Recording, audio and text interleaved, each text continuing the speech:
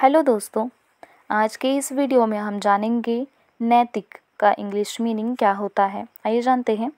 नैतिक का English meaning होता है मोरल और एथिकल मोरल और एथिकल आइए दोस्तों, इसे हम एग्ज़ाम्पल से समझते हैं। Example each story teaches an important moral lesson उदाहरण, प्रत्येक कहानी एक महत्वपूर्ण नैतिक पाठ सिखाती है। इस एग्ज़ाम्पल में मोरल का मतलब है नैतिक। इसी के साथ इस वीडियो में बस इतना ही। Thank you so much for watching my video